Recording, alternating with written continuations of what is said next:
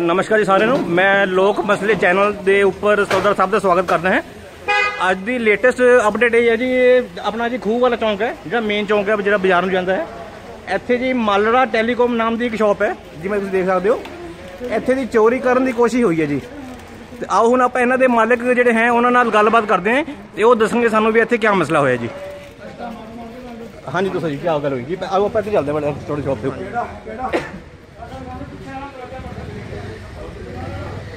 ਇਹ ਤੁਹਾਡੀ ਇਹ ਇਹ ਇਹਨਾਂ ਦੀ ਸ਼ਾਪ ਹੈ ਜੀ। ਆ ਤੁਸੀਂ ਦੇਖ ਸਕਦੇ ਹੋ ਮਾਲੜਾ। ਟੈਲੀਕਾਮ। ਤੇ ਇਹ ਇਹਨਾਂ ਦੇ ਮਾਲਕ ਹੈ ਜੀ। ਕੀ ਨਾਮ ਹੈ ਸਰ ਤੁਹਾਡਾ? ਸਰ ਮੇਰਾ ਨਾਮ ਸੁਖਜੀਤ ਸਿੰਘ ਹੈ ਜੀ। ਜੀ। ਤੇ ਸਰ ਮੈਂ ਹੁਣ ਆਪਣੀ ਮਦਰ ਦੀ ਜਾਣੀ ਕਿ ਦਵਾਈ ਲੈਣ ਆਇਆ ਸੀਗਾ। ਮੇਰੀ ਸ਼ੌਪ ਦੇ ਅੰਦਰ ਦਵਾਈ ਪਈ ਸੀਗੀ ਮਦਰ ਦੀ। ਤੇ ਜਿਵੇਂ ਅਸੀਂ ਆ ਕੇ ਹੁਣ ਸ਼ੌਪ ਓਪਨ ਕੀਤੀ ਤਾਂ ਅਸੀਂ ਦੇਖਿਆ ਕਿ ਪਿੱਛੇ ਵਾਲਾ ਸਾਡਾ ਦਰਵਾਜ਼ਾ ਪੱਟਿਆ ਹੋਇਆ ਕਿਸੇ ਨੇ ਤੇ ਉੱਪਰ ਵਾਲਾ ਦਰਵਾਜ਼ਾ ਵੀ ਪੱਟਿਆ ਹੋਇਆ ਦੋ ਦਰਵਾਜ਼ੇ ਸਾਡੇ ਉੱਪਰ ਤੇ ਤੋੜੇ ਹੋਏ ਨੇ। ਦੋ ਲੋਕ ਨੇ। ਮੈਂ ਪਿੱਛੋਂ ਆਏ ਜੀ ਉਹ। ਪਿੱਛੋਂ ਆਏ ਗੁਰਦੁਆਰੇ ਪਿੱਛੇ ਨੇ ਗੋਦਵਾਲੀ ਗੁਰਦੁਆਰੇ ਪਿੱਛੋਂ ਆ ਕੇ ਕਿਸੇ ਨੇ ਦਰਵਾਜ਼ਾ ਸਾਰਾ ਪੜਤਾ ਦੇਖੋ ਜੀ, ਜੇ ਪਹਿਲੀ ਗੱਲ ਤਾਂ ਇਹ ਕਿ ਜੇ ਦਰਵਾਜ਼ਾ ਪੱਟਣਗੇ ਤੇ ਕੋਈ ਨਾ ਕੋਈ ਖੜਕਾ ਹੋਏਗਾ ਆਵਾਜ਼ ਆਏਗੀ। ਆਵਾਜ਼ ਆਏਗੀ ਠੀਕ ਹੈ ਨਾ ਜੀ? ਕਿਉਂਕਿ ਬਹੁਤ ਮਜ਼ਬੂਤ ਦਰਵਾਜ਼ਾ ਲੱਗਿਆ ਹੋਇਆ ਸੀਗਾ। ਹਾਂਜੀ ਹਾਂਜੀ। ਔਰ ਸਰ ਥੋੜਾ ਕਿੰਨਾ ਨੁਕਸਾਨ ਹੋਇਆ ਜਾਂ ਬਚਾਅ ਹੋ ਗਿਆ ਜੀ? ਸਾਡਾ ਜੀ ਬਚਾਅ ਹੋ ਗਿਆ ਨੁਕਸਾਨ ਕੋਈ ਨਹੀਂ। ਅਸੀਂ ਜਿਹੜਾ ਆਪਣਾ ਕੀਮਤੀ ਸਮਾਨ ਸੀ ਉਹ ਸਾਰਾ ਘਰ ਚੁੱਕ ਲੈ ਗਏ ਸੀ ਇੱਕ ਦਿਨ ਪਹਿਲਾਂ। ਠੀਕ ਹੈ ਜੀ ਠੀਕ ਹੈ ਜੀ। ਜਦੋਂ ਅਸੀਂ ਅੱਜ ਸਮਾਨ ਆਪਣੀ ਦਵਾਈ ਕੱਢਣ ਆਏ ਘਰ ਦੀ ਵਾਈਫ ਦੀ ਦਵਾਈ ਕੱਢਣ ਆਏ ਸ਼ੂਗਰ ਦੀ ਜੀ। ਜਦ ਦੇਖਿਆ ਅਚਾਨਕ ਪਿੱਛੇ ਦਰਵਾਜ਼ਾ ਟੁੱਟਿਆ ਵਾ ਸਾਰਾ ਕਿਸੇ ਨੇ ਖੇੜਿਆ ਵਾ। ਠੀਕ ਹੈ ਜੀ। ਅਸੀਂ ਦੇਖ ਕੇ ਬਾਹਰ ਆ ਗਏ। ਜੀ।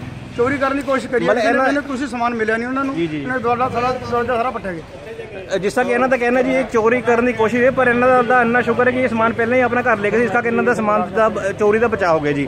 ਪਰ ਮੈਂ ਮੈਂ ਸਰਕਾਰ ਤੋਂ ਇਹ ਸਵਾਲ ਪੁੱਛਣਾ ਚਾਹੁੰਦਾ ਇਸ ਚੀਜ਼ ਦਾ ਜ਼ਿੰਮੇਵਾਰ ਕੌਣ ਹੈ? ਇਹ ਮੇਨ ਚੌਂਕ ਕਹਿਲਾਇਆ ਜਾਂਦਾ ਮੰਨਣ ਦਾ। ਔਰ ਇੱਥੇ ਦੇਖੋ ਕਿੰਨਾ ਤਕੜਾ ਨਾਕਾ ਲੱਗਿਆ ਹੋਇਆ ਜੀ ਆ ਦੇਖੋ ਤੁਸੀਂ ਮੇਰੇ ਪਿੱਛੇ ਦੇਖ ਸਕਦੇ ਹੋ ਜੀ। ਔਰ 24 ਘੰਟੇ ਸਰ ਇਹਨਾਂ ਦੀ ਸਾਰੇ ਦੀ ਡਿਊਟੀ ਰਹਿੰਦੀ ਪੁਲਿਸ ਵਾਲਿਆਂ ਦੀ। ਔਰ ਇਹਦੇ ਬਾਵਜੂਦ ਵੀ ਇਹ ਹਰਕਤ ਹੋਣ ਦੀ ਕੋਸ਼ਿਸ਼ ਹੋਈ ਹੈ।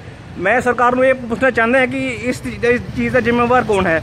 ਔਰ ਅੱਗੇ ਵਾਸਤੇ ਵੀ ਜੇ ਕੋਈ ਇਸ ਤਰ੍ਹਾਂ ਦੀ ਕੱਲ੍ਹ ਨੂੰ ਘਟਨਾ ਹੁੰਦੀ ਹੈ ਤਾਂ ਇਸ ਦਾ ਜਵਾਬ ਜਵਾਬਦਾਰੀ ਇਹਦੀ ਕੌਣ ਤੈਅ ਕਰੇਗਾ ਜੀ?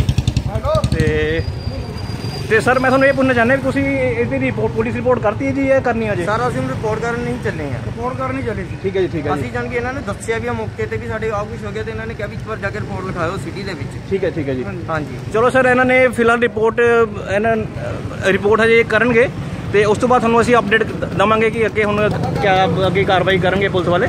ਬਾਕੀ ਅਸੀਂ ਇਹਨਾਂ ਨਾਲ ਜਿਹੜੇ ਮੇਰੇ ਪਿੱਛੇ ਖੜੇ ਹਾਂ ਜੀ ਇਹਨਾਂ ਨਾਲ ਹਜੇ ਫਿਲਹਾਲ ਅਸੀਂ ਗੱਲਬਾਤ ਨਹੀਂ ਕਰ ਰਹੇ ਤੇ ਕਿਉਂਕਿ ਆਪਣੀ ਡਿਊਟੀ ਤੇ ਲੱਗੀਆਂ ਸੀ ਇਹਨਾਂ ਨੂੰ ਤੰਗ ਨਹੀਂ ਕਰਨਾ ਚਾਹੁੰਦੇ। ਤੇ ਹੁਣ ਆਉਣ ਵਾਲੇ ਸਮੇਂ 'ਚ ਤੁਹਾਨੂੰ ਅਸੀਂ ਅੱਗੇ ਅਪਡੇਟ ਕਰਦੇ ਰਹਾਂਗੇ ਜੀ, ਹੁਣ ਵੀ ਇਹ, ਵੀ ਆਪਾਂ ਇਸ ਚੀਜ਼ ਨੂੰ ਵੀ ਕਿਵੇਂ ਰੋਕਣਾ ਹੈ। ਧੰਨਵਾਦ।